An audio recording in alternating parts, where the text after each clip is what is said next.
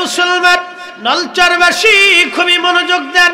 বাইজিদ বুস্তামি রহমাতুল্লাহি ওনার বাড়ির পাশে একজন আগুনের পূজক ছিল। বাইজিদ বুস্তামির বাড়ি বুস্তামনগর বর্তমান ইরানে। এই ইরানের মানুষ আগে আগুনের পূজা করত, আগুনের পূজারি ছিল। পারস্য সাম্রাজ্য ছিল আগুনের পূজারি। এক হাজার, দুই হাজার বছর ধরে তাদের আগুন কখনো নিভে নাই। তারা কখনো আগুন নিভাইত না, সবসময় আগুন জ্বলতে থাকতো। ওই আগুনের সামনে তারা মাথা নত করে পড়ে থাকতো। হাজরাতে বাইজিদ মুস্তাবির প্রতিবেশী শামুন চল্লিশ বছর ধরে আগুনের পূজা করে। সে আগুনের পূজারীদের ধর্মগুরু ছিল। মৃত্যুর সময় ঘনিয়ে গেছে, বাইজিদ বুস্তামি চিন্তা করল। জীবনে একটা বার হলো মৃত্যুর আগে তাকে কালেমার দাওয়াত দিয়ে আসি। দেখি বেচারা কালেমা কবুল করে কিনা। আল্লাহর বাইজিদ বুস্তামিক কালেমার দাওয়াত দেওয়ার জন্য তিনি চলে গেলেন। শামউনের বাড়ি আল্লাহর কোরআন বলতেছে ওয়াল তাকুম মিনকুম উম্মাতুন ইয়াদউনা ইলাল খায়রি ওয়া ইয়ামুরুনা বিল মারুফি।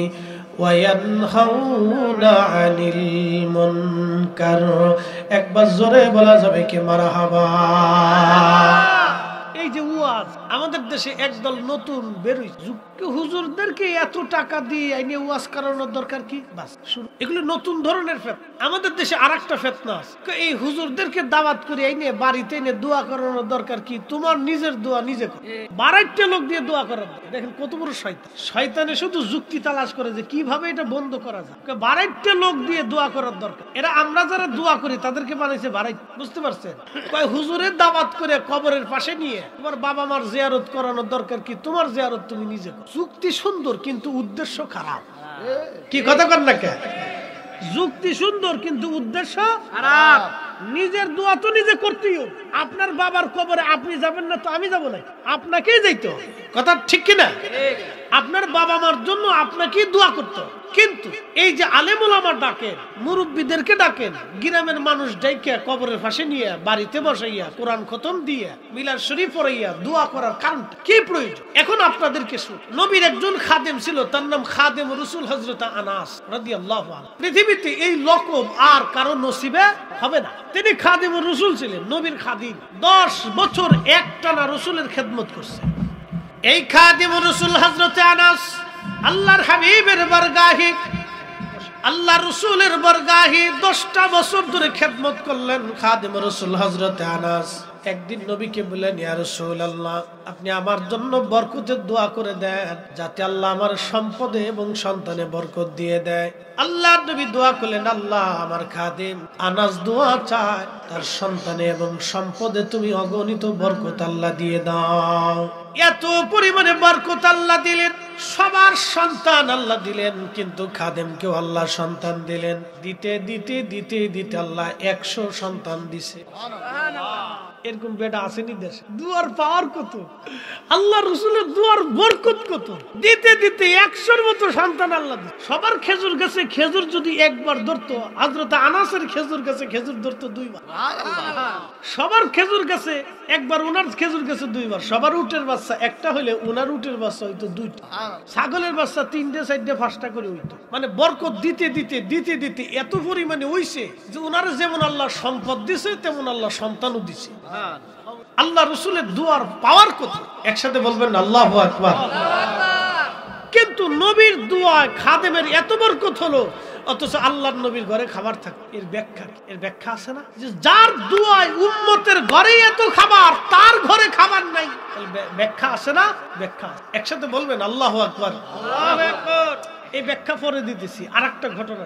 আল্লাহ রসুলের আরেকজন সাহাবি তার নাম হজরত আবু হুরাইরা মুহাদ্দিস সাহাবী ছিলেন তিনি। প্রায় পাঁচ হাজার হাদিস তিনি বর্ণনা করেছেন। আল্লাহ আকবার, অনেক বড় মুহাদ্দিস সাহাবি তিনি। হজরত আবু হুরাইরা রাদিয়াল্লাহু আনহু, তিনি একদিন নবীজির কাছে একটা ছোট্ট টুপলা নিয়ে গেলেন এইরকম। এরকম একটা ব্যাগ। এরকম না ধরেন একটা ব্যাগ উনি সবসময় ওনার কাছে রাখ।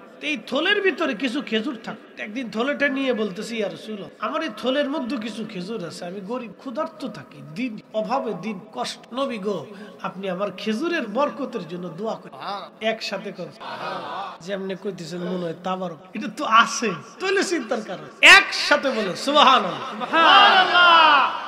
মানুষের খাওয়ানো কি বরকত এই হাদিস থেকে শুনে আমার দেশে কেউ কেউ আছে খাওয়ানোর দরকার আজেরে খাওয়ানোর দরকার। না, এর কাছে আজেরে খাওয়া। আরে মানুষরে খাওয়ানোর মতো ইবাদত পৃথিবীতে নাই। আল্লাহ রসুল বলছেন, মানুষ খাওয়ানো ইসলামী খৈরুন ইসলামের মধ্যে উত্তম কাজ কি? নবী বললেন তুত ইমুত্ত আম মানুষকে খাওয়াও খাওয়াও খাওয়াও। একসাথে জোরে বললেন না মার হাবা হেতায় ফতোয়া দেয়। দরকার দরকার কি? ঝামেলা ঝামেলা ঝামেলা। এর কাছে হলো ঝামেলা। নবীর সুন্নত এখন ওনার কাছে ঝামেলা বুঝতে পারছি খালি ঝামেলা। আচ্ছা আপনাদেরকে এখন প্রশ্ন করি, জবাব দিবেন। আজকের মাহফিলের তবারও কি? শুধু ধনীরা খাবে? জোরে কম গ্রামের মাহফিলে কি কোটি কোটি টাকার মালিকরা বসে থাকে? বড় বড় ইন্ডাস্ট্রির মালিক বসে থাকে। আপনাদের চেয়ারম্যান সাহেব এসে তাবারকের জন্য বয়ে থাকে। এমপি সাহেব, মন্ত্রী সাহেব, তো কারা আসে? গ্রামের সাধারণ মানুষ, মধ্যবিত্ত এবং দরিদ্র শ্রেণির। কথা কোন ঠিক কিনা? অধিকাংশ হলো মধ্যবিত্ত এবং দরিদ্র শ্রেণির যাদের আয় কম। দিন, মজুর, শ্রমিক, সামান্য বেতনধারী, ছোটখাটো ব্যবসা করলে বলা এই বিদেশ থেকে কিছু পয়সা করি, সামান্যতম রুজি টুজি করে আসছে, এগুলি দিয়ে কোনো রকম লাড়াচাড়া। কথা ঠিক কিনা? এর ভিতর আবার কিছু এর চাইতো দরিদ্র শ্রেণির মানুষ। তো দশ জনে মিলে ধনী দরিদ্রের কাছ থেকে উঠাইয়া আপনারা এই তাবারকের ইন্তজাম। এর ভিতরে উচ্চবিত্ত, নিম্নবিত্ত, মধ্যবিত্ত সবাই খাবে। এর ভিতরে মাহফিলের ভিতরে এমনও মানুষ আছে যার মা ছয় মাসে ওই বাচ্চার বিরিয়ানি দিতে কি কথা কন না গরুর গোস্ত দিয়ে বহু মা আছে সন্তানদের ছয় মাসেও বিরিয়ানি খাওয়াইতে পারে না। সেই মাটা সেই ছেলেটাও এই তাবারকের অংশ। বাবার এই একশো একজন গরিব মানুষ তার দিলটা যখন শান্তি লাগে তখন আমার আরশে আজিমওয়ালা খুশি হয় দলিল দিয়ে বোঝানো লাগে এটা বিবেক দিয়ে বোঝা- যাদের বিবেকের ভিতরে কুত্তায় পেশাব করে তারাই সমস্ত ওয়াজ এই খাওয়ানোর বিরুদ্ধে ফতোয়া দিয়ে এই কি কথা কর না? যার আকলের ভিতরে কুকুরে পেশাব করে ও মানুষকে খাওয়াইতে নিষেধ করে প্রিয় মুসলমান আমার নলচরবাসী ইতিহাসের মুসলমান হযরত আবু হুরাইরা বলেন ইয়া রাসূলুল্লাহি আপনি আমার এই খেজুরের জন্য দোয়া করে দেন বরকতের। আল্লাহর নবী টুপলাখানা ধরে বললেন, আল্লাহ, আপনার, আমার আবু হুরাইরার খেজুরের ভিতরে আপনি অপরিসীম বরকত দিয়ে দেন। দোয়া শেষ করার পরে নবী বলেন আবু হুরাইরা রে, বিসমিল্লাহ বলে ব্যাগের মধ্যে হাত দিবা। তোমার প্রয়োজন মতো খেজুর তুমি বের করে নিয়ে আসবা। সাবধান, কখনো খেজুর কি পরিমাণ আছে তুমি দেখতে যাবা না। তোমার প্রয়োজন মতো খেজুর আনবা, নিজে খাবা। আর গরিব অসহায় মানুষদেরকে তুমি খাওয়াইতে থাকবা। হাজারাতে আবু হুরাইরা বলতেছেন দুনিয়ার মানুষরে ষোলো বছর পর্যন্ত এই খেজুর আমি মানুষরে খাওয়াইছি। আমি নিজে খাইছি কোনোদিন খেজুরের কমতি পড়ে না। বছরে কি পরিমাণে খেজুর খাইছে আপনি বুঝেন? এই ষোলো বছরে কি পরিমাণে খেজুর খাইছে? ষোলো বছর পর্যন্ত নিজে খেজুর খাইলো, অন্য কেউ খাওয়াইলো। উসমান গনি জিন্নুরাইনকে যেই দিন লোকেরা শহীদ করল মসজিদের ভিতরে, উসমান গনিকে তিনি বাঁচাইতে গিয়েছিলেন। ওই ভিড়ের মধ্যে ধাক্কা ধাক্কিতে আবু হুরাইরার মাজা থেকে, কোমর থেকে সেই খেজুরের থলেটা হারিয়ে গেল, আর কোনোদিন তিনি খুঁজে পান নাই। নবীর এক দুয়ায় ষোলো বছর পর্যন্ত আবু হুরাইরা খেজুর খাইল। নবীর এক দুয়ায় হজরতে খাদিম রসুল আনাস ধনী হয়ে গেল। অথচ আল্লাহ নবীর বাড়ি খাবার থাকতো না। আল্লাহ নবীর ঘরে খাবার আসতো না। আল্লাহ নবী নিজে না খেয়ে থাকতেন। এর পিছনে কারণ ছিল, প্রিয় নবী ছিলেন দুনিয়া বিরাগী, জাহিদ। দুনিয়ার প্রতি তার কোনো আকর্ষণ ছিল না আমার নবীর। এই জন্য কোনোদিন খাইতেন, কোনোদিন না খেয়ে থাকতেন। কখনো আল্লাহর কাছ থেকে রিজিক তিনি চাইতেন না।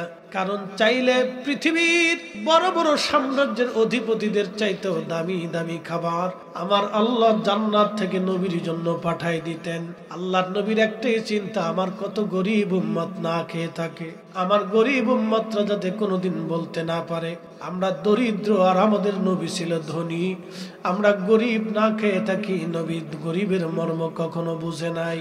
আপনি এই বিষয়গুলি চিন্তা করলে আপনার শরীরের পশমগুলি দাঁড়ায় যাবে, আপনাকে রসুল্লাহর প্রতি নিজের দিলকে আরও রুজু হয়ে যাবে, নবীকে আরও ভালোবাসতে মন চাবে। যিনি গরিবকে ভালোবাসা দিয়ে গেলেন, এতিমরে ভালোবাসা দিলেন, যিনি অসহায়ের সহায় ছিলেন, মজলুমের সহযোগী তিনি ছিলেন, ন্যায় বিচারক ছিলেন, পৃথিবীর জমিনে ন্যায় বিচার প্রতিষ্ঠিত করার জন্য আল্লাহ তারে পাঠিয়েছেন। জুলুম, মিথ্যাচারিতা হটকারিতা বেইমানি আর মুনাফিকি দূর করার জন্য এসেছিলেন। এই জমিনে আল্লাহর হুকুমত কায়েমের জন্য এসেছিলেন। সত্যকে প্রতিষ্ঠিত করার জন্য এসেছিলেন। মিথ্যাকে কবর দেওয়ার জন্য এসেছিলেন। অন্যায়কে কবর দেওয়ার জন্য এসেছিলেন। জুলুমকে কবর দেওয়ার জন্য এসেছিলেন। বেঈমানিকে কবর দেওয়ার জন্য রসুল এই জমিনে এসেছিলেন। কথা কোন ঠিক না বেটে জন্য মিথ্যাকে দেওয়ার দেওয়ার দেওয়ার জন্য রসুল মুসলমান, খুবই মনোযোগ দিয়ে শুনিয়া যান। হাজারাতি বাইজিদ বুস্তামি রহমাতুল্লাহ ডাক দিয়ে বলতেছে সামন চল্লিশ বছর ধরে আগুনের পূজা করলা তুমি। চল্লিশ বছর ধরে আগুনের পূজা করছ। সামাউন রে, কালেমা পড়ো। ইমানদার হয়ে তুমি কবরে চলে যাও। সামাউন ডাক দিয়ে বলতেছে বাইজিদ তোমার ধর্ম সত্য, প্রমাণ কি বলো? বাইজিদ বুস্তামি ডাক ডাকে সামন রে, তুমি কি প্রমাণ চাও? তুমি আমাকে বলো। সামন ডাক দিয়ে বলতেছে বাইজিদ তুমি প্রমাণ সাবমিট করো যে তোমার ধর্ম সত্য। আমি মিথ্যার উপরে আছি। বাইজিদ বুস্তামি ডাক দিয়ে বলেন, সামন, তাহলে তুমি আগুনে হাত দাও আমি আগুনে হাত দেই। যে আগুনে তুমি চল্লিশ বছর ধরে পূজা করতেছ, সেজদা দিচ্ছ, ওই আগুনের কাছে তুমি চাচ্ছ আগুনকে সামনে নিয়ে মাথা নত করে চল্লিশ বছর ধরে তুমি কাটাই দিলারে সামন। ওই আগুনে তুমিও হাত দাও, ওই আগুনেও আমিও হাত দিব। যার হাত আগুনে পোড়াবে, তার ধর্ম মিথ্যা। যার হাত আগুনে পোড়াবে না, তার ধর্ম সত্য। চিৎকার মেরে জোরে বলেন, আল্লাহু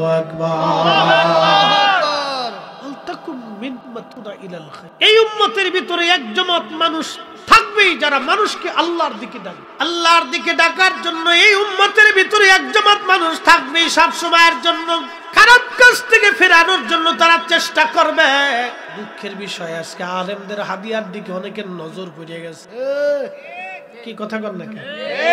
আলেমদের হাদিয়ার দিকে নজর এত সুদখোর বাংলাদেশে আছে এত ঘুষখোর অফিসে আদালতে হসপিটালে এখানে সেখানে এত ঘুষখোর এখানে তোর নজর পড়ল না খালি আলেমদের টাকা কি কথা কর না কেন? এখানে তোমার নজর পড়ল না খালি আলেমদের হাদিয়ার দিকে তোমার নজর পড়ে কারণটা আমার দেশের মসজিদের ইমাম সাহেবের বেতন পাঁচ হাজার ছয় হাজার সাত হাজার দশ হাজারই দল দশ হাজার টাকার বেতনে একজন ফ্যামিলি কি করে বলে? আমরা তো বাংলাদেশের সর্বনিম্ন সরকারি স্কেল বেতন একজন পিয়নের বলেন তো কেউ আছে? ষোলো হাজার। ষোলো হাজার টাকা। তারপরে সর- সরকারে আরও কিছু সুযোগ সুবিধা কম বেশি তা আসে। এটা দিয়ে ধরেন বিশ হাজার। একজন সরকারি কর্মচারী বা কর্মকর্তা, আপনি যাই বলেন, সর্বনিম্ন স্কেলের তার ষোলো হাজার সরকারি সুবিধা দিয়ে আরও কিছু ভাতাটাতে দিয়ে বিশ হাজার টাকা তার মাসে। সেক্ষেত্রে একজন ইমামের বেতন মাত্র দশ হাজার টাকা, পাঁচ হাজার টাকা। এই পাঁচ হাজার টাকা দিয়ে একজন ইমামের পরিবার তার স্ত্রী আছে তার সন্তান আছে তার তার সন্তানদের একটু ভালো খাওয়া ভালো আশা সব বাচ্চাদেরই আশা থাকে সব স্ত্রীর আশা। স্বামীর কাছ থেকে ভালো কিছু শেখ। পাঁচ হাজার টাকা বেতন দিয়ে মুসল্লির ধমকের চোটে ইমাম সাহেবের জান শেষ হয়ে কি কথা কর না কেন? মুসল্লিরা তিন বেলা ধম মসজিদ পরিষ্কার করলেন না কেন? হুজুর কই গেছেন আপনি? কি কথা বলেন না কেন? অনেকে, না, আমি কথা বলতে হবে আজকে। পাঁচ হাজার টাকা একজন আলেমের জীবনে কি হয়? আমার দেশের অনেক বাচ্চা, যার মাসে পাঁচ হাজার টাকা বেশি খরচা আছে। সেখানে ইমাম সাহেব পাঁচ হাজার টাকা তার সংসার চলে এক ধরনের নীরব জুলুম। আর আলেমরা দুই একজন একটু বেশি হাদিয়া পাইলে অনেকে চোখ নজর পড়ে গেছে। কারণটা বাংলাদেশে কয়জন লোক বেশি হাদিয়া পায় বলেন? হাতে গোনে কৌমিপন্থী বলেন, জামাতপন্থী বলেন, আহলে হাদিসপন্থী বলেন, সুন্নিপন্থী। এই ঘুরে ফিরে দেড়শো, দুইশো, আড়াইশো, তিনশো, সর্বোচ্চ তিনশো নাকি? এর বেশি না। সর্বোচ্চ তিনশো মানুষ এই কোন রকম মোটামুটি একটা ভালো পর্যায়ের হাদিয়া, সামান্য পর্যায়ে। আর বাদ বাকি লক্ষ লক্ষ আলেম। কেউ ইমামতি করে, কেউ মাদ্রাসায় চাকরি করে। একটা হেফজখানা মাদ্রাসায় একজন শিক্ষকের বেতন কত? দশ একটা মাদ্রাসা বেসরকারি প্রতিষ্ঠান মাদ্রাসা একজন শিক্ষকের বেতন কত? পনেরো হাজার টাকা বারো হাজার টাকা আট হাজার টাকা ছয় হাজার টাকা আপনি এগুলি দেখতেছেন না। আমার দেশের অনেক মানুষের প্রত্যেক দিন এমনও ব্যক্তি আছে যারা বিড়ি টেনে প্রত্যেক দিন একশো টাকা খরচা করে। একই কথা কর না কে আছে না? বিড়ি টেনে একশো টাকা খরচা করে। তাহলে তার মাসে তিন হাজার টাকা খরচা খালি বিড়ির পিছনে। কিন্তু মসজিদে দুইশো টাকা সে দেয় না। মাস গেলি বেতন। কি কথা কর না মসজিদে দুইশো টাকা সে দেয় না। হ্যাঁ? দুই বছরের দাম আছে। সারা মাসে, সারা বছরে মসজিদের কেশিয়ারে যান শেষ হয়ে যায়, টাকা উঠাইতে উঠাই ভাই, দিলেন না, কয়, দিবানি? ভাই, দিলেন না, কয়, দিবানি? ভাই, দিলেন না, দিবানি? দিতে দিতে একবার রমজান মাসে ঠেকাইছে। রমজান মাসের শেষের দিকে তাও দিবার দেয়, অর্ধেক দেয় আর অর্ধেক না দিয়ে কয়, ভাই, দিবানি? দিবানি কয়ে ছয় বছরও অনেকের বাকি পড়ে গেছে। হে মনে করছে, ইমাম সামনে ঠকায় বেহেস্ত চলে যাব।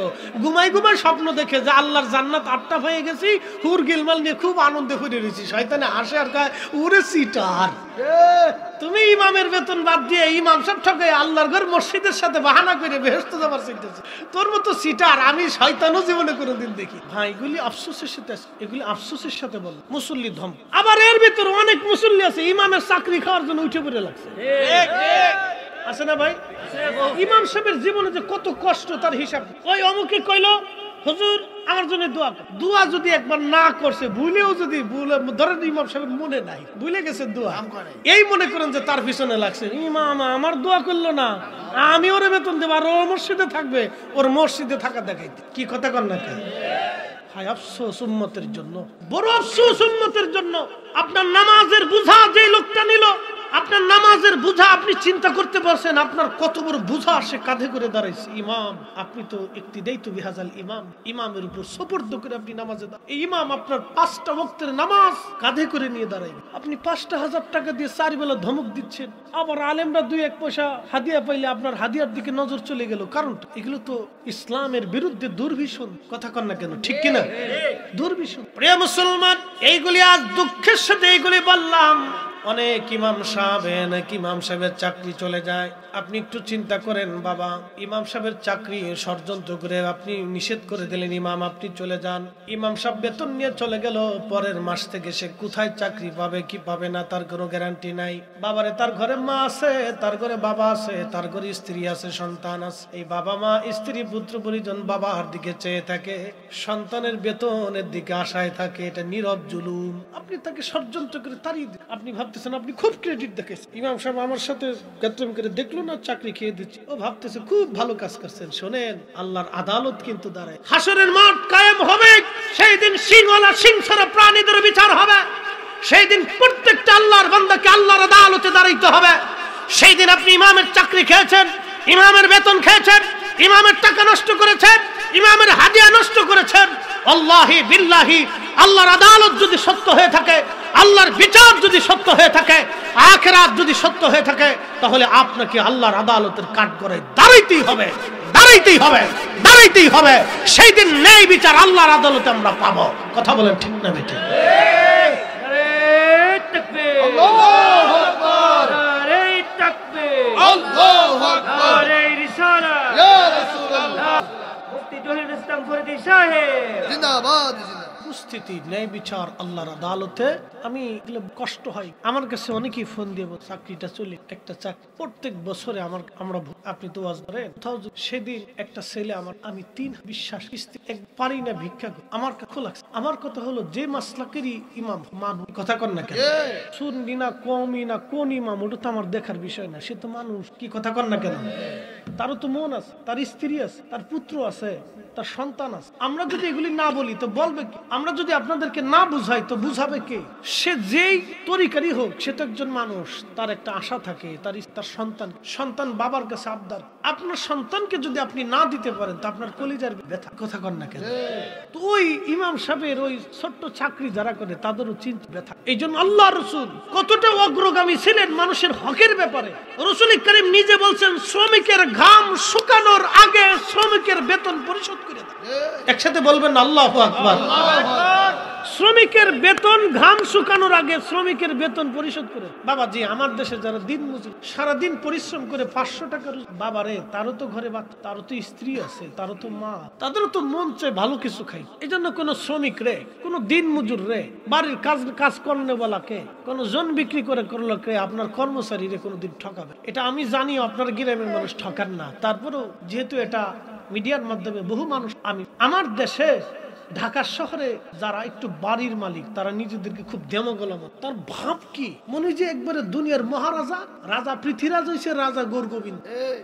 এরকম বসে রয়েছে রাজা মহারাজা, বিরাট বড় সম্রাট, আকবর আর সম্রাট জাহাঙ্গীর সেজে বসে। মনে করছে বিরাট বড় দুনিয়া পেয়ে গেল আর একটা বাড়ির মালিক যদি কোনো বেডি হয়, তো তো কাজ। কি কথা যদি কোনো বেডি বাড়ির মালিক হয়, তাহলে আর কাজ। তো বাড়ির সামনে দিয়ে হাঁটাও মুশকিল। আর ওই বাড়ির দারোয়ান আর কর্মচারী আর কাজের বেটি যারা আছে, বাপ তার জীবন দফার অবশেষ আর এই সমস্ত মহিলারা কাজের মেয়েদের কি পরিমাণে মারে, আমি ভাষায় আমি এটা ভাষায় বলতে পারব, বিবেক দিয়ে বাবা, এই সমস্ত দরিদ্র মানুষের মেয়েরা বাবাকে মারে, গরিব বাবার উত্তর, গরিব করে মারধর হয়ে নীরবে নিভৃতেরা এই সমস্ত জুলুমের শিকার হয়। আল্লাহর কসম করে বলি, এগুলি নীরব জুলুম, এই সমস্ত জুলুমকে দাফন করার জন্য কবর দেওয়ার জন্য রাহমাতুল্লিল আলামিন এসেছিল।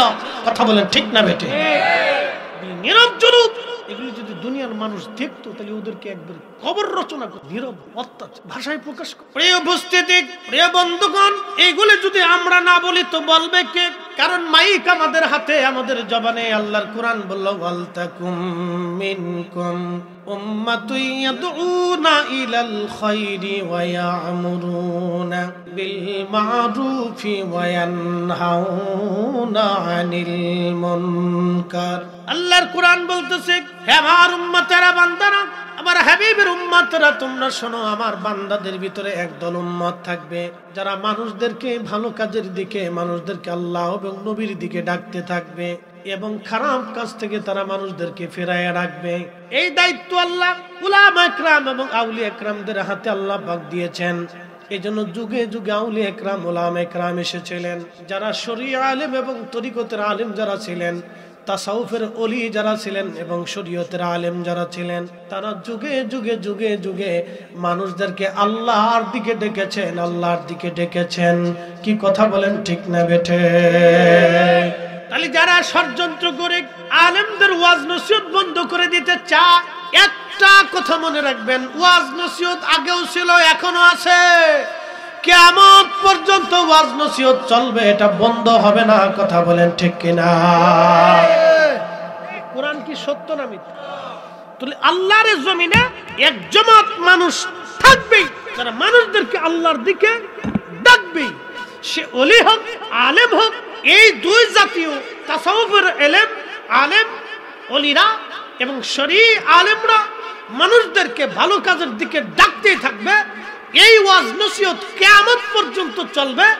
যত ষড়যন্ত্রই আসুক, এই ওয়াজ নসিহত কেউ বন্ধ করতে পারবে না। কারণ আল্লাহর কোরআনই সত্য এবং আল্লাহর কালামই সত্য থাকবে। কথা বলেন ঠিক না বেঠি? ষড়যন্ত্র বহু চলতেছে এগুলি বন্ধু? হবে, আমাদেরকে সচেতন। প্রিয় বন্ধুগণ, আমার হাজরাতে বাইজিদ মুস্তামি ডাক দে বলেন, শামউন, তুমিও আগুনের মধ্যে হাত দাও, আমিও আগুনের মধ্যে হাত দেই। দেখি কার হাত খানা পড়ে যায়। যার হাত পুড়ে যাবে, বুঝব এই লোকের ধর্ম মিথ্যা। সামন চিন্তা করল, আহা, চল্লিশ বছর ধরে আগুনের পূজা করলাম। আগুন আমার কথা শুনবে না, আমি জানি। আগুনের ধর্ম হলো জ্বালিয়ে পুড়িয়ে ভস্ম করে দেওয়া, সারখার করে দেওয়া। এবার সামনের চিন্তা হলো, না, এই, আমি যদি আগে হাত দিই, তাহলে আমার হাত পুড়ে যাবে। আর বাইজিৎ বুস্তামি বলবে, তোমার ধর্ম মিথ্যা। আগে বাইজিদ আগুনে হাত দিক, তারপরে আমি হাত দিব। বাইজিদের হাত যদি আগুনে পুড়ে যায়, তখন আমি বলব, তোমার ধর্ম মিথ্যা সামন মরার সময় চিন্তা করল। দেখেন শয়তানে ওরে তখনও টেলাইতে। আজাজিল কিন্তু তার কাজে কখনো বিরতি দেয় দেয় শোনেন আমি আমার আঞ্চলিক ভাষায় মাঝে মধ্যে টান আসে মনে কিছু নিয়ে এই আজাজিল কিন্তু তার কাজে বিরতি দেয় না আমরাই শুধু মুসলমানরা আল্লাহর কাজে বিরতি। আজাজিল কিন্তু বইসে নাই ও কিন্তু সব সময় চেষ্টা করতেছে বান্দারে কীভাবে জাহান নামে পাঠানো যায়। এই জন্য আপনার মাহফিলে আসতে দিবে না বসতে দিবে না নামাজে নিবে না রোজায় নিবে না হক হালালে নিবে না। সব সময় বসে বসে বসে বসে বসে বসে ধোকা দিচ্ছে ধোকা দি ধোকা দি। এই জন্য আল্লাহর কোরআন বলতেছে আমানু দুখুলু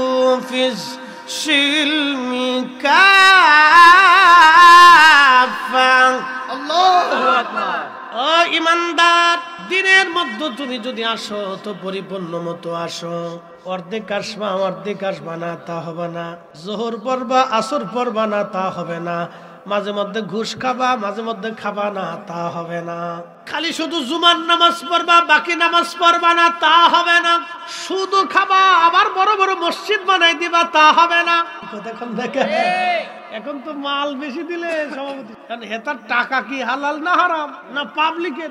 এই কয়দিন আগে, এই নরসিংদীর রায়পুরে, ডাচ বাংলা ব্যাংকের এজেন্ট ব্যাংক থেকে এক লোকে কোটি কোটি টাকা চুরি করে বাগার হয়ে আমার লোকজন বলতেছে, হুজুর, যেই লোকে ম্যানেজার ছিল, এতে পাঁচ অক্ত নামাজ পড়তো, প্রত্যেক সপ্তাহে দুই, তিন দিন রোজা রাখ কি চিন্তা করেন, পাঁচ নামাজ পড়তে পড়তে কবলেন তার দাঁড়িয়ে আছে সুন্দর দাঁড়িয়ে আপনি দেখলে মনে হবে যে ফেরেস্তা কিন্তু আন্তর্জাতিক খ্যাতি সম্পূর্ণ চোরের ঘরের চোর। হ্যাঁ গরিব মানুষের টাকা চুরি করে নিয়ে গেছে। আপনি বুঝেন না, একজন মানুষের পাঁচ লক্ষ টাকার একজনের চল্লিশ লক্ষ টাকা নিয়ে, সে আমার এক ভাই, সে মানে প্রায় কাইন্দি দিয়ে বলতেছে, হুজুর, আমার জীবনের একবারে অনেক কষ্টের রুজি, চল্লিশ লাখ টাকা বিদেশ থেকে করিয়া যে একবারে জীবনের সম্বল শেষ হয়ে অত্যন্ত দুঃখজনক, আমার কাছে খুব খারাপ লাগে যে আমারই যদি চল্লিশ লাখ চলে যায়, তাহলে আমার কাছে কেমন লাগে? আমার কাছে কি অবস্থা? তো সেই লোক মোটামুটি দাড়ি, সেজদা সপ্তাহে দুই দিন রোজাও রাখছে। পাবলিকে গেলে কোথায় আমি রোজা। বিরাট বড় বুজুর্গ। বিরাট বুজুর্গ। বাপরে বাপ, রোজা। হ্যাঁ।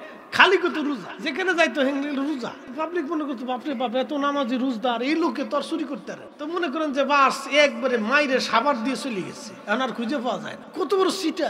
এরকম কিছু লোক আছে, মনে করেন যে, সুদের কারবারি, ঘুষের কারবারি করিয়া, অন্যায় করে কোটি কোটি টাকার মালিক হইয়া, এখন দিয়ে একটা মসজিদ বানাই দিয়ে, বিরাট বড় বুজুর্গ সেই যে টুপি সাদা, দাড়ি সাদা, জুব্বা সাদা, জায়নামার সাদা, তসবি সাদা, মোজা সাদা, সব সাদা। শয়তানে আসে আর কয়, উরে দুলা ভাই কত বড় সিটা! শয়তানে চিন্তা করে বাপরে বাপ আমি নয় লক্ষ বছরের জীবনে যা চিন্তা করিনি ও ষাট বছরের জীবনে তার সাথে বেশি চিন্তা করি। আচ্ছা আপনাদেরকে একটা প্রশ্ন করি জবাব দিবেন। সে নিজে কোটি টাকা খরচা করে মসজিদ বানায় নামাজ পড়লে নামাজ হবে? হ্যাঁ? নামাজ। এক উত্তর নামাজ। বলে কারণ কি? আপনাদের আমার দেশের দিন মজুর সারা দিন পরিশ্রম করার পরে পাঁচশো টাকা মাইনে পায়। আছে না এরকম?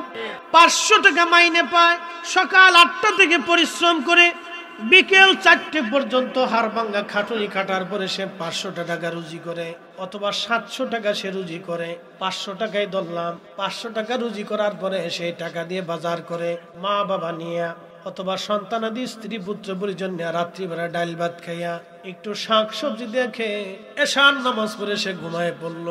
এই লোকটা এশান নামাজ পড়ে ঘুমানো, আর আরেকজন সুদের কারবারি, ঘুষের কারবারি অন্যায় করে মানুষের টাকা মেরে দিয়ে, রাষ্ট্রের সম্পদ মেরে দিয়ে কোটি কোটি টাকার মালিক হইয়া এই লোকটা মনে করেন, কি বলল? আপনার চলে গেল, মসজিদ বানাই দিল। সভাপতি, সেক্রেটারি, কেশিয়ার যাই বলেন, হইল মতল্লি। যা কিছু হোক না কেন, মসজিদ বানাই দিয়া একবারে সুন্দর করে ওই ওই টাকার গরুর গোস্ত কিনে নেয় আপনাদের কুমিল্লার সন্ধু হোটেলের একবারে কালাবোনা বানাইয়া সুন্দর করে খাইয়া রাত্রিবেলা এসার নামাজ পড়ে ঘুমাইলো। ওইভাবে যদি ষাট বছরে এসারা নামাজ পড়ে, আর পাঁচ অক্ত নামাজ পড়ে, আর জিকির ফিকির ইবাদত করে কাটায়, তার খাবারের মধ্যে হারাম। আল্লাহর কসম করে বলি, তার ষাট বছরের ইবাদত এক পাল্লায় দিবেন, আর ওই দিন মজুরের হালাল খাবারের এক অক্ত এশারা নামাজ আর এক পাল্লায় দিবেন। ওই এক অক্ত এশারা নামাজের ওজনের সমান হবে না, কথা কন ঠিক কিনা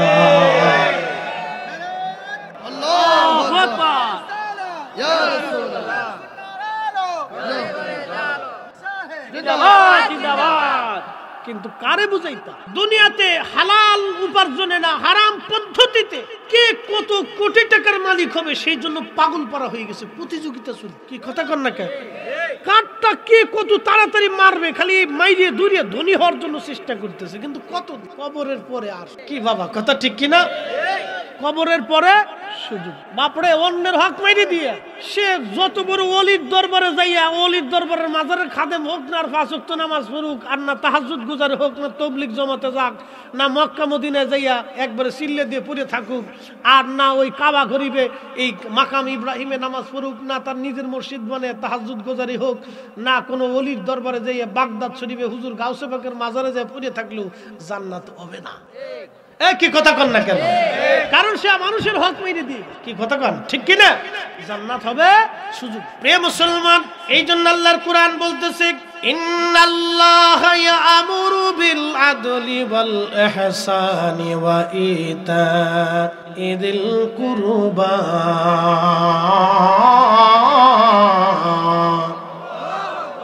আল্লাহ বলেন আমি হাবিব নিশ্চয় আমি রব আমি হুকুম করলাম আমি আল্লাহ আইন প্রণয়ন করলাম, তোমরা আদল করবে, ন্যায় বিচার করবে, অন্যায় করবে না এবং এহসান করবে, তুমি দয়া করবে। তুমি দয়া করবে, এহসান করবে, দয়া করবে। আল্লাহ আকবার। আল্লাহ বলে তুমি দয়া করবে, এহসান করবে এবং ন্যায় বিচার করবে। এই ন্যায়টা সমাজ থেকে উঠে যাচ্ছে, শুধু অন্যায় অন্যায় অন্যায়। মানুষ খারাপ কাজ করার জন্য প্রতিযোগিতা শুরু করছে, কিন্তু নেকামল করার জন্য কোনো প্রতিযোগিতা নাই। শয়তান কিন্তু সব সময়ের জন্য বসে রয়েছে। কীভাবে মানুষের ক্ষতি করা যায়? কোন উপার্জ উপায়ে ধম ধোকা দেওয়া যায়? এই জন্য আল্লাহ বললেন ইমানদার ইসলামের মধ্যে পরিপূর্ণ মতো আসো। আংশিক আসবা আর আংশিক আসবা না, তা হবে না। পরিপূর্ণ মতো আসো। হাজরত অমর রাদি আল্লাহ তিনার বাড়িতে ঈদের কাপড় নাই, ঈদ কাপড় স্ত্রী ডাকবে বলো, স্বামী রে, ঈদের কাপড় নাই। আপনি দয়া করে বাজার থেকে ঈদের কাপড় নিয়ে আসেন। হজরত ওমর ডাক দে বলো, বিবি রে, ঈদের কাপড় আনব। সেই জন্য আমার কাছে কোনো টাকা পয়সা নাই। স্ত্রী বলতেছে, স্বামী রে তাহলে আগামী এক মাসের বেতন আপনি বাইতুল মাল থেকে নিয়ে আসেন। আপনি তো খলিফা অর্থমন্ত্রী বাইতুল মাল থেকে আপনার জন্য আগামী এক মাসের বেতন দিয়ে দিবে। হজরত আমার বলল, বিবি, বাইতুল মাল থেকে যে ভাতা আমি পাই, মাসিক বেতন আমি পাই, এটা দিয়ে কোন রকম বাজার সদাই হয়। বাকি টাকা দে আমি আমার বাচ্চাদের ঈদের কাপড় কেনার মতো কোনো পয়সা আমার নাই। তাদের জীবনী আপনার শরীর চোখ কি করে, আল্লাহ, কত কঠিন, দৃঢ় ইমানের অধিকারী ছিলেন যে অহুদ পর্বতের মতো, পাথরের মতো শক্ত তাদের ইমান ছিল। একসাথে বলা যাবে আল্লাহ আকবার। তেলের গাড়ি, তেলে চলি।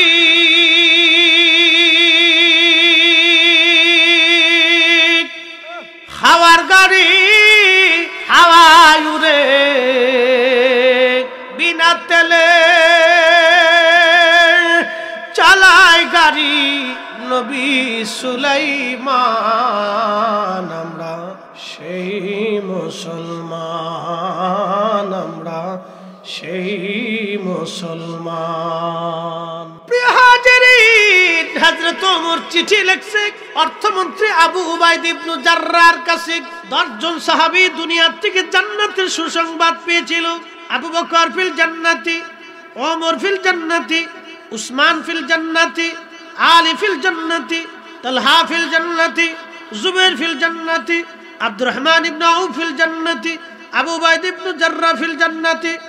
সাদ বিন আবি ওয়াক্কাস ফিল জান্নাতি সাইদ ইবনু জুবাইর ফিল জান্নাতি, সাদ ইবনে আবি ওয়াক্কাস রাদিয়াল্লাহু রিদওয়ানুল্লাহি তাআলা আলাইহিম আজমাইন ফিল জান্নাতি।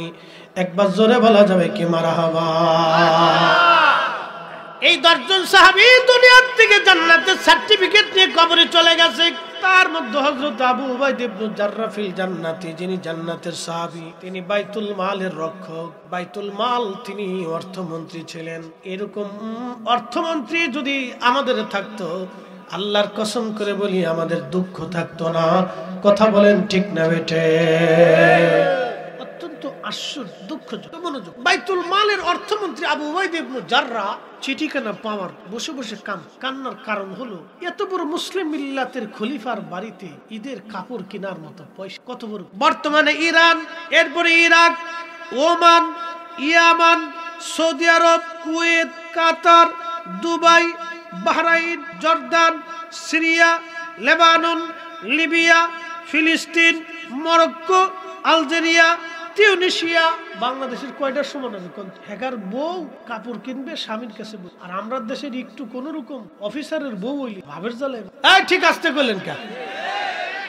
একটু অফিসার, তার বউয়ের বাপ কি? লিপস্টিক মাখতে মাখতে দিন চলে যায়। হ্যাঁ? দুঃখজনক, মুসলমান কতটা অধপতন, ডিমোশন হলে আজকে এই জন্য মুসলমান কাফের পায়ের নিচে তাদের মাথা চলে। মুসলমান যদি তার নীতিতে ফিরে আসতো, মুসলমান যদি তার আমানত আমানতদারিতে ফিরে আসতো মুসলমান যদি হক ইনসাফের উপর প্রতিষ্ঠিত থাকতো, তো মুসলমান আজকে মাথা উঁচু করে দাঁড়িয়ে থাকতো।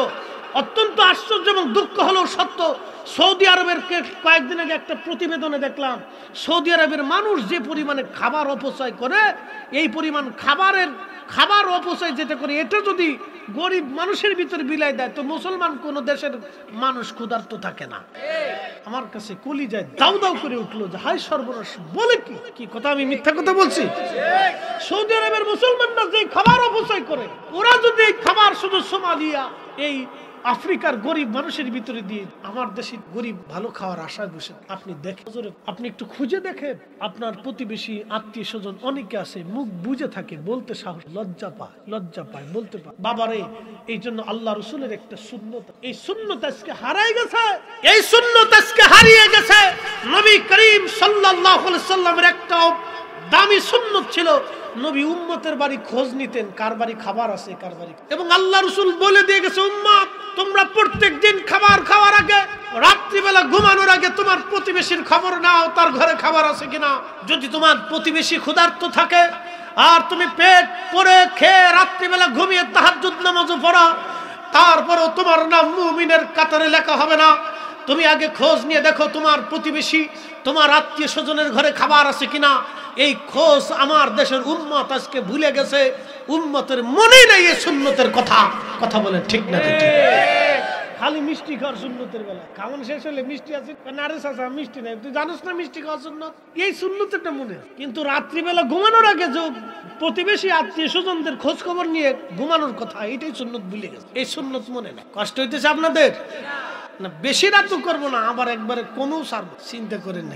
একসাথে বলেন তো, আল্লাহ একবার ষাটটি না ষাটটার দরকার কি একবার ফজর ঠেকাই দেন ইনশাল্লাহ কন্যা ইনশাল্লাহ ও আপনার থাকা লাগবে না, কিন্তু নেকি লেখা হয়ে গেছে। আবার চিন্তা করেন না, তাহলে আর তাবারকের দরকার নাই, নেকি যেহেতু হয়ে গেছে তো বাদ যাই গে।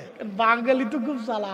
ভূমিকম্প হয়েছে, বিরাট বড় ভূমিকম্প বাংলা। খুব লাড়াচাড়া। ঢাকা শহরও খুব লাড়াচাড়া। ফজর রক্তে যায় দিয়ে মসজিদে একবার পোড়া সাত টাত দিয়ে তিনতলা চার তালার উপর। ঘটনা কি? সকালবেলা তো ফজর রক্তে ঢাকা শহরের মুসল্লিরা সাধারণত আসে। কারণ অনেকের ভয় আছে হিরুঞ্চি মিনুচি ধরে পোস্ট দেয়, কোপ টোপ একবারে যে অসুবিধা নেই তা না। এই জন্য ধনী ব্যক্তি যারা আছে সাধারণত তারা ফজর উঠতে সাধারণত কম। দূরে একটু বাসা হলে আর ঢুকতে চায়, ভয় করে। প্রত্যেক দিনে তো টার্গেট করে একদিন পোস্ট দিয়ে যায়। তো এই পুরা মসজিদ বুঝে গেছে। আমি জিগে, কি ব্যাপার? ফজর রক্তে তো এত মুসল্লি আসে না জুমা রক্ত ছাড়া। হুজুর, যেমনি জাকাইছে ঘুমাইতে আরে ডরে মসজিদে ঢুকছে জোর রক্তে যায় দিই দুই কাতা। মুসল্লি আরে বাঙালি, কি চালাক এরা কিয়ামতের মাঠও তালাশ করে দেখব কোনো ফাঁক ফুক্কার সিস্টেম আছে কি চালাক তো বিরাট চালাক শোনেন, পাকিস্তানি মিলিটারি বাঙালির জিগে, তুই হিন্দু না মুসুক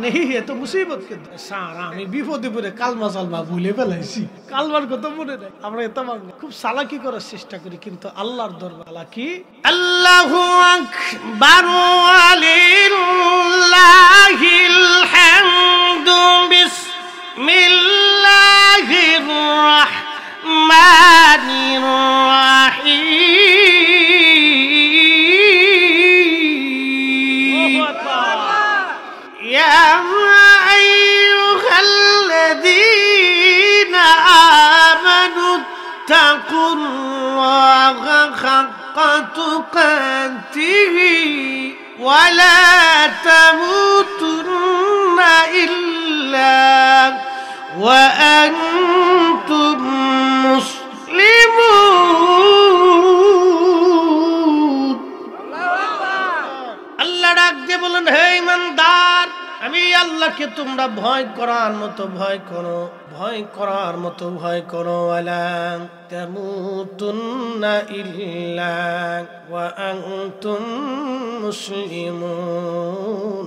মুসলিমুন না হইয়া মইর না, মুসলমান না হইয়া মইর না, মুসলমান না হইয়া মইর না। একদিন মাটি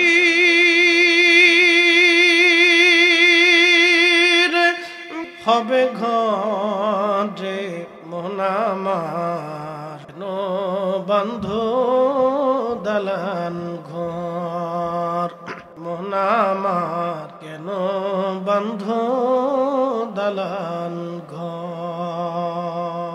ও বাবাজি নলচরবাসী দূরে যারা বাহিরে, যারা ঠান্ডার মধ্য থেকে কোনো লাভ নাই, ভিতরে আসেন। কিছু কথা শুনে যান। দুনিয়াতে কেউ যদি আল্লাহকে আল্লাহ বলে একবার ডাক না দেয় আল্লাহর তাতে কোনো লজ নাই। আল্লাহ আপনাকে আমাকে দুনিয়াতে পাঠাইছেন শুধুমাত্র পরীক্ষা করার জন্য। আমরা আল্লাহর কাছে ছিলাম, আল্লাহর কাছ থেকে আবার দুনিয়াতে আসছি, আবার আল্লাহর কাছে আমরা ফিরে চলে যাব। ইন্না নিশ্চয় আমরা আল্লাহর জন্য। ওয়া ইন্না ইলাইহি নিশ্চয় আমরা আল্লাহর দিকে ফিরে চলে যাব। আমার এই রুহুটা মুফতি ফরিদি আল্লাহর কাছে ছিলেন, আমার কোনো অস্তিত্ব ছিল না। আমার কোনো অস্তিত্ব ছিল না, আমি ছিলাম একেবারে অস্তিত্বহীন। আল্লাহ বললেন, কাইফা তাকফুরুনা বিল্লাহ? তোমরা আল্লাহকে কি করে অস্বীকার করো, কুফরি করো আল্লাহর সাথে? অথচ তোমরা মৃত ছিলে, মরা ছিলে। আল্লাহ তোমাদেরকে জিন্দা বানাইলেন। আল্লাহ তোমাদেরকে জিন্দা করলেন, তুমি অস্তিত্বহীন আমি মালিক, তোমাকে অস্তিত্ব দিলাম, অস্তিত্ব দেওয়ার পরে দুনিয়াতে পাঠাইলাম। দুনিয়াতে কেন পাঠাইলাম একটু পরীক্ষা করার জন্য? কি পরীক্ষা? আল্লাযী খালাকাল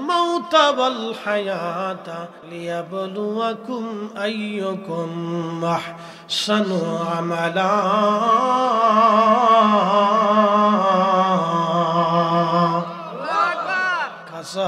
তোর চিন পাখি কেমনে আসে যা? এই যে আপনাদের সামনে যিনি কথা বলতেছেন, ইনি আল্লাহর কাছ থেকে আসছেন। আবার আল্লাহর কাছে তিনি চলে যাবেন। যখন চলে যাবে তখন ফরিদ সাহেবের হাত পা এবং লাশ পরে থাকবে। আর বাবা কি? আচ্ছা, আচ্ছা দোয়া আল্লাহ ফেরত দিলে হোক বাবা আল্লাহ ফেরত দিলে দোয়া তোমার কোলে তোমার একটু দূরে সে বলে আল্লাহ সাল্লি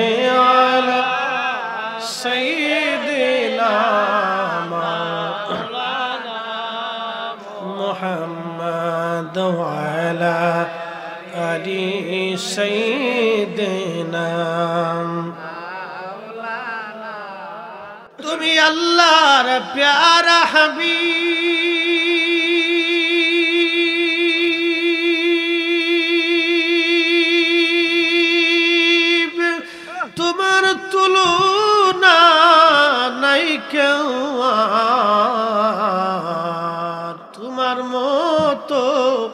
আকাশ ভ্রমণ করেনি কোন পয়গম্বার আল্লাহ সাল্লি আলা مولانا محمد علي سيدنا ভাইরা আমার আল্লাহর কোরআন বলতেছে বন্ধু তুমি আমার কাছে ফিরে আসবা। আল্লাহর কাছে আমরা আবার ফিরে চলে যাব। দুনিয়ার থেকে কিছুই নেওয়ার সুযোগ নাই। কত ধনী তো রাজা মহারাজারা, কত রাজা মহারাজা সম্রাটরা কবরে চলে গেল। আল্লাহ তাদের পাহারা দেওয়ার জন্য লক্ষ লক্ষ সৈন্য থাকতো, কিন্তু আজরাইল থেকে পালানোর কোনো রাস্তা নাই। আল্লাহর কোরআন বলল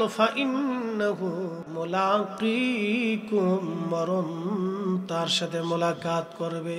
মরণ থেকে পালানোর কোনো রাস্তা নাই মরণ থেকে পালানোর কোনো রাস্তা নাই। মরণ তার সাথে মোলাকাত করবে। মরণ তার সাথে মোলাকাত। হাজিরি এই যে ফরিদি, আপনি আল্লাহর কাছে চলে গেলে বডিখানা পড়ে থাকবে। মানুষের এন্তেকালের চব্বিশ ঘণ্টা পর পায়খানা রাস্তা দিয়ে একটা পোকা বের হয়ে আসে। বাবারে, দুনিয়া কিছুই না, দুনিয়া কিছুই না, দুনিয়া কিছুই না। এই দুনিয়াটা পরীক্ষার জায়গা। যারা পরীক্ষায় পাশ করবে, তারা সাকসেস দুনিয়া কিছুই না। চোখের সামনে কত মানুষ চলে গেল আর আসলো না। কত মানুষ চলে গেল আর ফিরে আসলো না।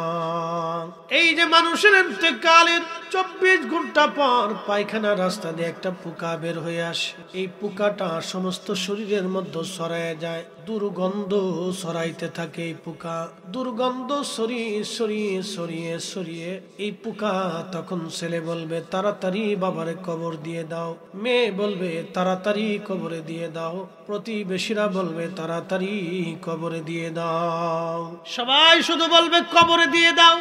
কবরে পৌঁছাও, কবরে দিয়ে দাও। কেউ আর রাখতে চাবে না। তাহলে একটু চিন্তা করেন আপনি, হারাম খাইলেন কার জন্য? মানুষ ঠকাইলেন আপনি কার? আল্লাহর আইন অমান্য করলেন আপনি কার জন্য? সবই ধুকা ধুকা ধুকা, ধোকা। কথা বলেন ঠিক কিনা? সবই ধোকা ধোকা ধোকা। কার জন্য রে তুমি হারাম খাইছো? কার জন্য তুমি মানুষ ঠকাইছো? কারে খুশি করার জন্য তুমি সন্তান? স্ত্রী, পুত্র, পরিজনের জন্য তুমি আল্লাহর আইন ছেড়ে দিয়েছ। কার জন্য তুমি করছ? আজকে মারা যাওয়ার সঙ্গে সঙ্গে সবাই তোমারে দুনিয়া থেকে জুদা করে দিল। শরীর থেকে পচা দুর্গন্ধ আসতে লাগল। প্রিয় হাজিরিন, এই জন্য দুনিয়া অল্প সময়ের জন্য দুনিয়ার থেকে আমি আপনি চলে যাব। যে বডিখানা আপনারা দেখেন, এই বডিখানা আল্লাহ মাটি দিয়া, পানি দিয়া এবং আগুন দিয়া আর বাতাস দিয়া আল্লাহ বানাইছে। এই বডির মধ্যে চারটা পদার্থ আছে, আ, বাতাস, খা, কবাদ। আগুন, পানি, মাটি, বাতাস। আগুন, পানি, মাটি, বাতাস। চারটের সংমিশ্রণে আল্লাহ বডি বানাইছে। এই দেহের মধ্যে যদি শ্বাস প্রশ্বাস বাতাস যদি না যায়, তাহলে দেহখানা বন্ধ হয়ে যাবে। এই দেহের রক্ত, পানি যদি আপনার শূন্যতায় চলে আসে, মানুষ তখন মারা যাবে। এই দেহের তাপমাত্রা যদি শূন্যতে চলে আসে, তাহলে মানুষ মারা যাবে। চার রঙের মশল্লা দিয়া যে কইরা কইরাছে তোর গঠন চার রঙের মশল্লা দিয়া আগুন, পানি, মাটি, বাতাস। একই যুগে করিয়া প্রকাশ। আগুন, পানি, মাটি, বাতাস। একই যোগে করিয়া প্রকাশ। দেখিলি না তুই কইরা তালাশ, ওরে দেখিলি না তুই? কইরা তালাশ, কোন জায়গা সে মহাজন চার রঙের সল্লা দিয়া, চার রঙের সল্লা দিয়া যে কইরাছে তোর গঠন, চার রঙ্গের রঙের তাহলে আমাদের উদ্দেশ্য আল্লাহকে খোঁজা, আল্লাহকে খুশি করা, আল্লাহকে রাজি করা। এই জন্য কোরআন বলে, কুল হুজুর, আপনি বলে দেন, ইন্না সলাতি, সালাত আমি আল্লাহর জন্য নুসুকি, আমার কুরবানি, আমার ত্যাগ, সব আল্লাহর জন্য। ওয়া মাহিয়া আমার জীবন আল্লাহর জন্য। ওয়া মামাতি আমার মরণ আল্লাহর জন্য। সমস্ত জগৎ সমূহের মালিকের জন্য। কি কথা বলেন ঠিক না বেটে আমাদের সব কার জন্য হবে? আল্লাহর জন্য। যখনই সবকিছু আল্লাহর জন্য হবে, তখন তাম মখলুক আমার অধীনস্থ করে আমার জীবনের সব কিছু যখন আল্লাহর জন্য হবে তখন সমস্ত মাকলুক গুলি আল্লাহ আমাদের অধীনস্থ করে দিবে। শ্যামউন হাত দিবে না, চালাকি করল সে। সামন ডাক দেখে বাইজিৎ তুমি আগুনে হাত দাও। আল্লাহর অলি বাইজিৎ বুস্তামি রহমাতুল্লাহ আলাইহি বিসমিল্লাহির রহমানির রহিম বলে আগুনের মধ্যে হাত ঢুকাই দিলেন। আগুন জ্বলে, কিন্তু বাইজিৎ বুস্তামির হাত জ্বলে না। চিৎকার মেরে জোরে বলেন, আল্লাহু আকবার। আগুনের কাজ হচ্ছে জলি পুরি সরকার করে দেবে বাইজিৎ আগুনের ভিতরে হাত দিল, হাত পুরে না। বাইজিৎ পুরে না, আগুন জ্বলে। বাইজিৎ পুরে না, আগুন জ্বলে। আগুন বাইজিদের হাত পুরায় না। কারণ বান্দা যখন আল্লাহর হয়ে যায়, সমস্ত মাখলুকগুলি বান্দার অধীনস্থ হয়। আল্লাহ রসুল সহি বুখারির কিতাবুর রাকাকে নবী বলেন, মান আদালি ওয়ালিয়ান আমার অলির সাথে যারা দুশ্মনী করে, আমি আল্লাহ তার সাথে যুদ্ধ ঘোষণা করি। আমার অলিরা যখন আল্লাহর ইবাদত করে, ফরজ ইবাদত গুলি আল্লাহর কাছে পছন্দ। ফরজ ইবাদত করার পরে মানুষ যখন নওয়াফেল করে, অতিরিক্ত ইবাদত নফেল নওয়াফেল ইবাদত যখন বান্দা করে, আমরা বলি নফল ইবাদত। এই নফল ইবাদত বান্দা যখন করে, তখন বান্দা আল্লাহর দিকে যায়, আল্লাহ বান্দার দিকে আসে। বান্দা আল্লাহর দিকে রুজু হয়, আল্লাহ বান্দার দিকে মহব্বতের সম্পর্ক বাড়ে। বাড়তে বাড়তে বাড়তে বাড়তে এমন একটা পর্যায় হয়, বান্দার দুইটা চোখ আল্লাহর চোখ হয়ে যায়, বান্দার দুইটা কান আল্লাহর কান হয়ে যায়, বান্দার দুইটা হাত আল্লাহর হাত হয়ে যায়, বান্দার দুইটা পা আল্লাহর পা হয়ে যায় বান্দার জবান আল্লাহর জবান হয়ে যায়। যখন বান্দার চোখ আল্লাহর চোখ হয় আল্লাহ রসুল বলতেছো আমার উম্মতেরা ইত্তাকু ফেরাসাতাল মুমিন। তখন তোমরা মুমিনের চাহানিকে ভয় করো কারণ তারা নিজেরা চায় না বরং আল্লাহর চোখ দিয়ে তাকায়। একসাথে বলবেন না সুবহান আল্লাহ ওই আল্লাহর অলির চোখ শুধু আল্লাহর অলির চোখ থাকে না হাকিকতে আল্লাহর চোখ হয়ে যায়। অর্থাৎ আমার মালিক, আমার মৌলা তার ওই চোখের ভিতরে আল্লাহর তাজাল্লি দিয়ে দেয়। তখন ওই বান্দা যখন আল্লাহর জন্য কোনো দিকে তাকায়, তখন আমার আল্লাহ মাখলুকগুলি তার অধীনস্থ করিয়া দেয়। এই জন্য আল্লাহর অলি শাহজালাল ইয়ামানি মুজাররেদি রহমাতুল্লাহি যাই নামাজ দিয়ে নদী পার হয়েছেন। আল্লাহ আকবার। কি দিয়ে নদী পার হয়েছে যাই নামাজ দিয়ে নদী পার এখন বলেন যে যাই নামাজ দিয়ে নদী পার হয়েছে কি করতে হয়েছে নিজেকে আল্লাহর পথে বিলীন করে। কথা কন না ঠিক কিনা? বিড়িটা না ফিরে হয়ে হয়েছে না। মনে কিছু নেই। ফির, বলি যারা, তারা কোনোদিন বিড়িটা না মন খারাপ। এটা খাওয়া। হারাম। মনে কি আমি বাথরুমে বিড়ি জিগে। বাইরে দশ টাকা কেয়ার টেকারে দিয়ে বললাম বেটা রে বাথরুমে খালি বিড়ির কারণ। আপনার আগে বিড়ি যে খাইলো, খাওয়ার তো জায়গা রাস্তাঘাট কোনা কান্সি বাজার ঘাট কত জায়গায় তো বিড়ি খাওয়ার এইখানে বসে বিড়ি টানি এই বিড়ি না টাল ক্লিয়ার তার অর্থ হলো, বিড়ি তারে ধরে ফেলছে। হেতায় বিড়ি ধরা লাগে না বিড়ি তারে ধরে ফেলছে। আর যখন বিড়ি ধরছে, তখন বোঝা গেছে, এখানে আর হালালের কাজে না এটা হারামি হয়। একই কথা কর না কেন? ধরে বলে ওটা রক্তের সাথে মিশে গেছে টান না দিলে ক্লিয়ার হয় না। উপর থেকে টান দেবে নিজেদের ক্লিয়ার কি আশ্চর্য। হ্যাঁ এক ধরনের মারাত্মক নেশা। এগুলি থেকে আমাদের দূরে চলে আসতো এখান থেকে আমাদের এখান থেকে কোনো উপকার যেখানে ক্ষতি লুকাইতো সেখানে ইসলাম সমর্থন আদৌ যেখান থেকে ক্ষতি আসতেছে, সেখানে ইসলাম এটাকে আপনার সমর্থন হালাল এটাকে সমর্থন করে আল্লাহ কোরআন, খাও হালাল বিশুদ্ধ, খাও হালাল খাবা, হালালের সাথে আরেক তেগ বিশুদ্ধ তেগ পরিশুদ্ধটা অপরিশুদ্ধটাও আল্লাহ। এই জন্য পরিশুদ্ধটাকে যেটা খাবেন, সেটার জন্য পরিশুদ্ধ, নির্মল। হাজারাতে বাইজিদ বুস্তামি আল্লাহকে নিজের পথে সমর্পণ করে দিলেন নিজের জাহিদ হয়ে গেলেন, মুজাহাদা করলেন। নিজেকে আল্লাহর পথে বিলীন করে দিলেন। আল্লাহ তার হয়ে গেল, সে আল্লাহর হয়ে গেল। এই জন্য আগুনের মধ্যে হাত দেয়। আগুন জ্বলে, কিন্তু বাইজিৎ জ্বলে না। চিৎকার মেরে জোরে বলেন, আল্লাহ আকবার। আরেকটা ঘটনা শুনুন। না, কষ্ট হচ্ছে আপনাদের? তাহলে একসাথে আবার জোরে বলি তো, আল্লাহ আকবার। আবু মুসলিম আল ফাউলানি কিবার উত্তাবিঈন। অনেক বড় তাবি ছিল। বাড়ি ছিল মিশর। মদিনায় এসে আবু বকর সিদ্দিক রাদিয়াল্লাহু আনহুর হাতে কালেমা। আবু মুসলিম আল খাওলামি রাহমাতুল্লাহি খুব অভাবী ছিলেন। মনোযোগ খুব অভাবী আবু মুসলিম আল খাউলামি অভাবের তারনায় একদিন বিবি ডাক দেয় বলেন, স্বামী আমার, আপনি বাজার থেকে একটু বাজার করে নিয়ে আসেন। আবু মুসলিম ডাক দেয় কয়, বিবি রে, বাজার করব, আমার হাতে কোনো পয়সা করি নাই। স্ত্রী ডাক দেয় বলো স্বামী রে, পয়সা করি যেহেতু নাই, আমি সারাদিন সুতা বোনাইছিলাম। সুতা কেটে আমি তিন পয়সা রুজি করছি। এই তিন পয়সা নিয়ে যান, বাচ্চাদের জন্য বাজার থেকে রুটি কিনে নিয়ে আসেন, খাবার কিনে নিয়ে আসেন। কয় পয়সা? তো কে রুজি করছে? স্ত্রী। আবু মুসলিম তিন পয়সা নিয়ে বাজারে গেলেন। বাজারে যাওয়ার পরে আবু মুসলিম আল খাওলামি দোকানদারের সাথে দামাদামি করতেছেন। এমন সময় এক ভিক্ষুক এসে হাত পেতে বলেন, আবু মুসলিম, আমি দিনহীন মুসাফির ক্ষুধার্ত। আমারে কিছু পয়সা করে দেন। আবু মুসলিম চিন্তা করলেন, পয়সা যদি দিয়ে দেয় বাজার হবে না, আর বাজার করলে মিসকিনরে দেওয়া হবে না। চিন্তায় পড়ে গেলেন, তিনি কি করবেন? চিন্তা করলেন, অভাবীকে আল্লাহ তার নিজের দরজা থেকে তারাইতে নিষেধ করে দিয়েছেন। আল্লাহ বলছেন, হাবিব, আপনি উম্মাদকে শিখান কখনো ভিক্ষুককে সায়েলকে ধমক দিবেন না।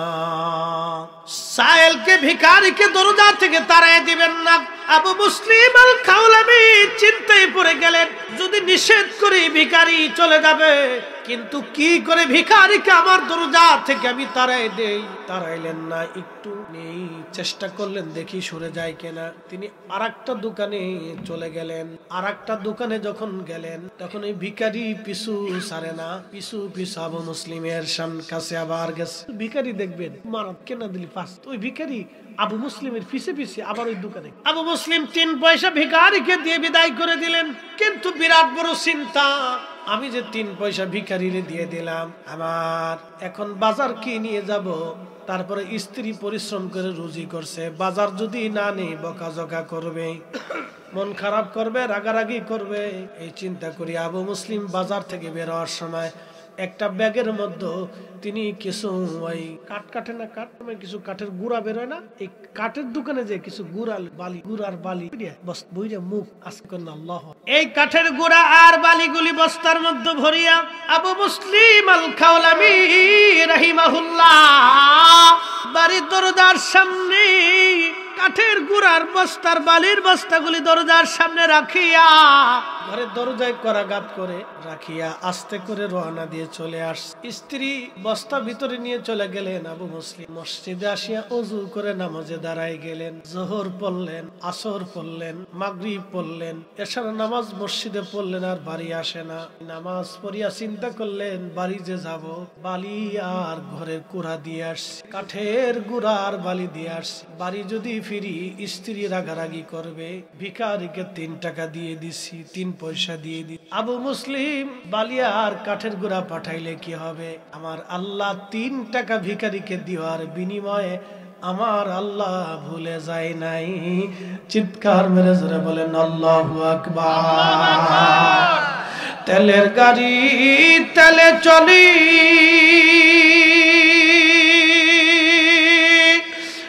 হাওয়ার গাড়ি হাওয়ায় উড়ে বিনা তেলে চালায় গাড়ি নবী সুলাইমান আমরা সেই মুসলমান।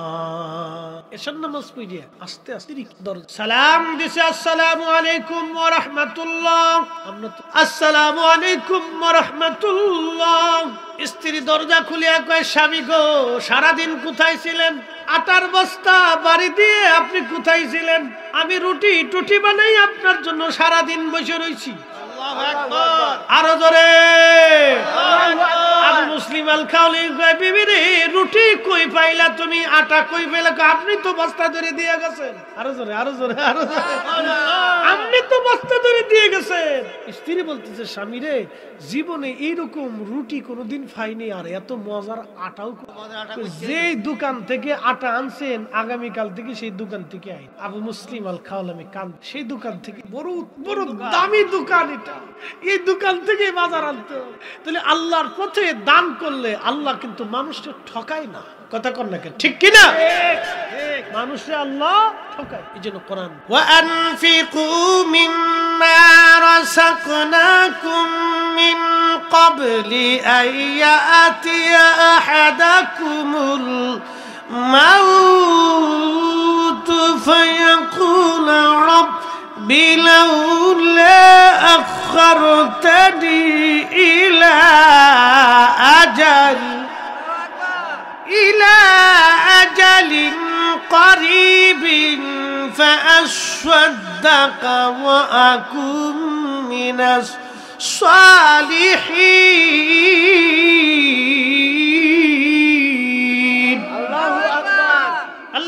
বান্দা, তোমার রিজিক থেকে তুমি আল্লাহর পথে খরচা করো, আল্লাহর পথে তুমি দান করো, সৎকা করো, তোমার মৌত আসার আগে, মরণ আসার আগে তুমি দিয়ে দাও, মরণ আসার আগে দিয়ে দাও।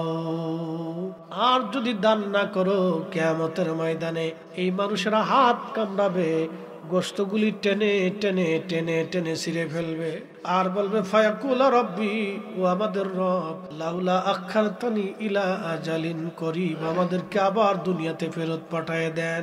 দুনিয়ার ভিতরে যাইয়া ফাআসসাদাকা বেশি বেশি করে সদকা দিব। ও আকুম মিনাস সলিহিন নেককারদের অন্তর্ভুক্ত হয়ে যাব, আল্লাহ দুনিয়াতে আমার আমাদেরকে পাঠান। আল্লাহ ডাক দিবেন নাফসান ইদা যা আজালুহা। বান্দারে জীবনে ওয়ান টাইম দ্বিতীয়বার আর কোনো সুযোগ নাই। ও বান্দা, দুনিয়ার থেকে কেউ চলে আসলে ফেরত যাওয়ার সুযোগ নাই। হায়াত শেষ হয়ে গেলে দুনিয়াতে থাকার আর কোনো সুযোগ নাই। দুনিয়ার থেকে চলে গেলে, কবরে গেলে পৃথিবীতে ফিরে আসার আর কোনো আইন নাই।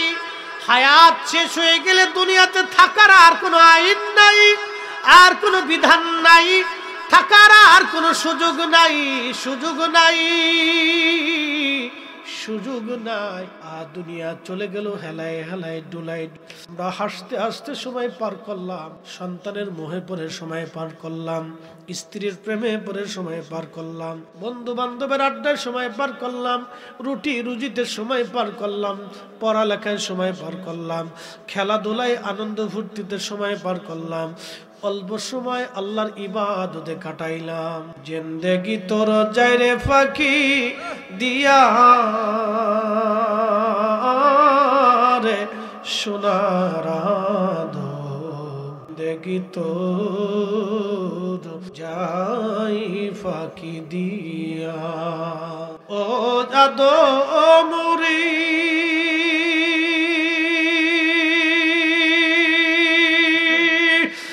কামিনের ওই কোলেতে, কাল ঘুমেতে রইলি তুই।